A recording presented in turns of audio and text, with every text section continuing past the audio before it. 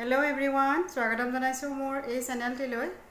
আৰু আশা কৰিছোঁ আপোনালোক সকলো ভালে কুশলে আছে। আৰু আজি ভিডিঅ'টো আৰম্ভ কৰিছোঁ এতিয়া এঘাৰটা বাজিছে। আৰু ৰাতিপুৱা সময়কণ এতিয়া কাম বন কৰি আজৰি হৈছোঁ ভাত বনাবলৈ বাকী আছে।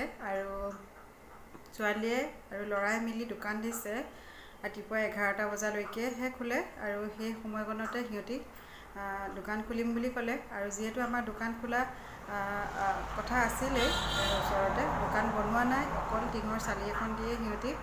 দোকান দিছে তাকে অলপমান দেখুৱাম আপোনালোকক। আৰু ৰাতিপুৱা সিহঁতি সোনকালে পঢ়ি শুনিয়েই লয় দোকান খুলিবলৈ।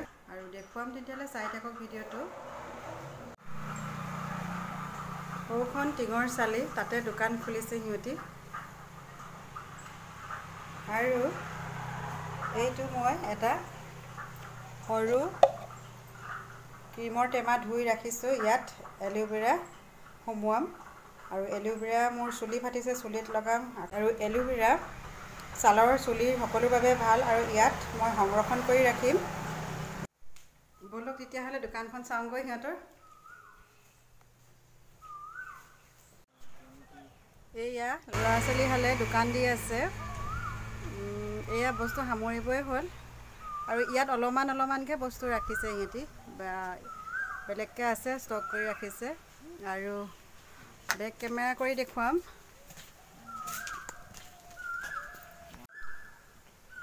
এই টুকুৰাত বনিব মেইন দোকানখন আৰু ইহঁতি এতিয়া চালি দিয়ে দোকান দিবলৈ আৰম্ভ কৰিছে। ৰাতিপুৱা সোনকালে পঢ়ি শুনি আহি দোকানত দোকান দিয়েহি। আৰু পঢ়াৰ বাৰু ক্ষতি নাই হোৱা।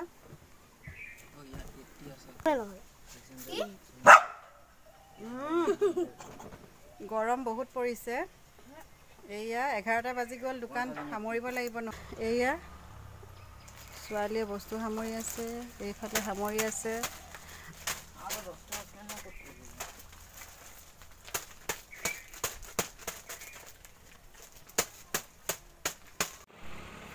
সেয়া হাজবেণ্ডেও টাউনত দোকান বন্ধ কৰি ঘৰ পালেহি। এয়া দোকানৰ বস্তু সামৰি হৈ গ'ল। নহ'লে যিহেতু ৰাস্তাৰ কাষতে পুলিচৰ মাৰ পৰিব নখুলি আকৌ খুলিলে। এল'ভেৰা চিঙুংগৈ এতিয়া চুলিও ফাটিছে। লগতে এতিয়া গৰমত ফেচিয়েল কৰিবও নোৱাৰি।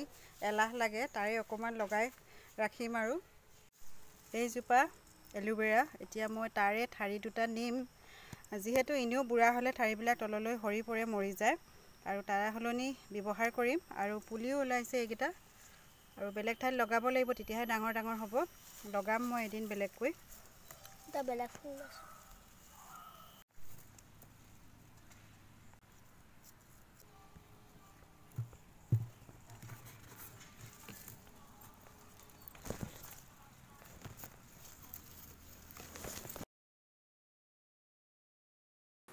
এয়া মই এল'ভেৰা। দুঘৰ দুঘৰ কৰি কাটি লৈছোঁ আৰু এই কাটি লোৱাৰ আগত যেতিয়া এল'ভেৰাখিনি মই আনিছিলোঁ তেতিয়া প্ৰথম কাটোতে তাত হালধীয়া ৰঙৰ অলপ আঠা টাইপৰ ৰস ওলাই আৰু সেইখিনি যোৱাৰ পাছতহে মই এনেদৰে কাটি লৈছোঁ। আৰু ওপৰ এতিয়া বাকলিটো এৰুৱাই এয়া বগা অংশটো চামুচ এখনেৰে উলিয়াই লৈছোঁ।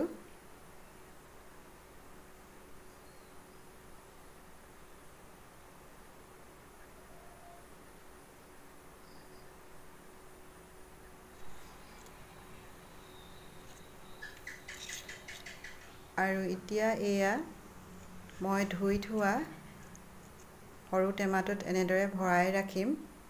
কেইবাদিন যোৱাকৈ। আৰু বেছি নোলালে এয়াই ওলালে।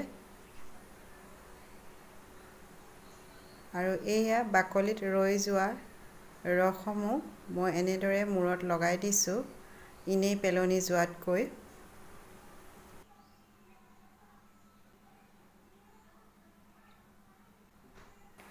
এই সকলো বাকলিখিনি মই চুলিত লগাই হৈ গ'ল লাগি থকাখিনি আৰু এতিয়া এই বাকলিখিনি অন্য ঠাইত নেপেলাই মই ফুলৰ টাবত পেলাই দিম। আৰু এতিয়া এয়া পাকঘৰত বনিছে গাহৰি মাংস সৰু বিলাহী আৰু আলু। আৰু এইফালে মই বনাম অকল আলু ভাজি। আৰু যিহেতু মই গাহৰি মাংস নাখাওঁ আৰু নবনাওঁ মই নিজ হাতে সেয়েহে হাজবেণ্ডে বনাইছে। এয়া ছোৱালী আৰু মই আলু ভাজি খাম। এয়া সৰু সৰুকৈ কাটি লোৱা হৈছে। আৰু আলুখিনি এনেদৰে ভাজি অলপমান পানী দি তেনেকৈ জুলীয়াভাৱে খাম। সকলো সময়তে মাছ মাংস খাবলৈ মন নাযায়। কেতিয়াবা একেবাৰে চিম্পুলকৈ খাবলৈও মন যায়। আৰু সেয়েহে অকল আলু ভাজিয়ে মই খাম বুলি ভাবিছোঁ। আৰু ভিডিঅ'টো চাই কেনে পালে কমেণ্ট কৰিব। আৰু পুনৰ এটি নতুন ভিডিঅ' লৈ আপোনালোকৰ মাজত পুনৰ উপস্থিত হ'মহি। তেতিয়ালৈকে ধন্যবাদ।